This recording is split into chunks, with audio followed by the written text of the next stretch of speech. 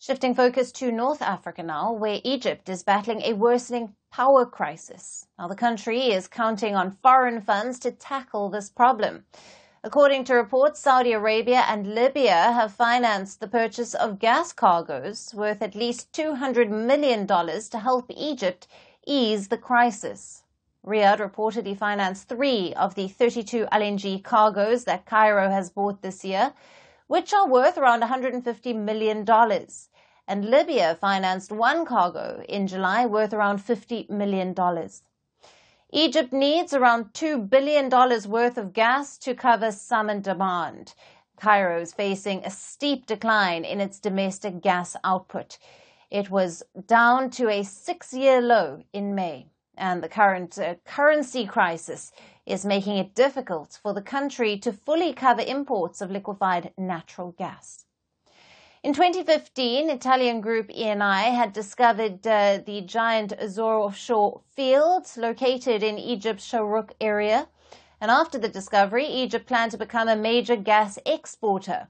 But over the years, the output of the field began falling and reports say that the speedy development of the project injected too much water into the reservoir, which made the gas extraction difficulty.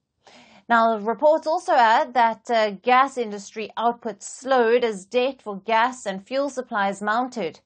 And Egypt's debt to ENI alone, mainly related to gas, stood at over a billion dollars at the end of June. Now, last year, Egypt resorted to load shedding to keep its grid functioning amid a lack of gas supply and rising demand.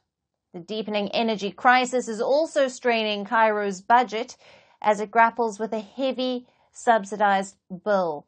And the El Sisi government boosted fuel and food subsidies this year as people struggle with the rising costs of living. Now, the move pushed the country's foreign debt to $154 million in May close to all-time high of $168 million at the end of 2023. So power outages, inflation and a weakening currency are pushing Egypt into one of its worst economic crises since Abdel Fattah al-Sisi took power in 2014. It is also fueling public discontent. A decade ago, power outages fed public anger that led to mass protests.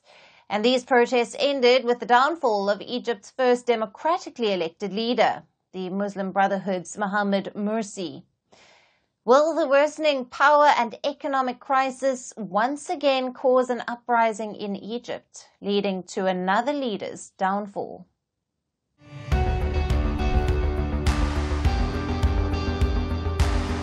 Across continents, one powerful news source. bringing you diverse perspectives on the issues that matter.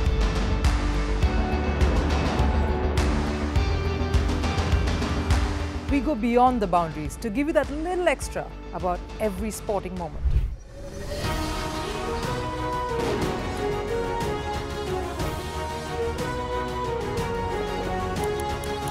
So thank you for making Firstpost 5 million strong.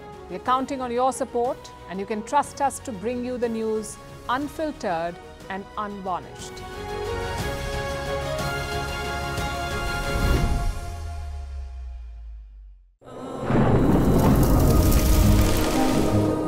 Climate change is on our doorstep. It's time for a revolution to take root. And it starts with 1.4 billion Indians. It starts with one tree. One tree for humanity. One tree for Mother Earth. One tree for our future. Project One Tree, a News 18 network initiative.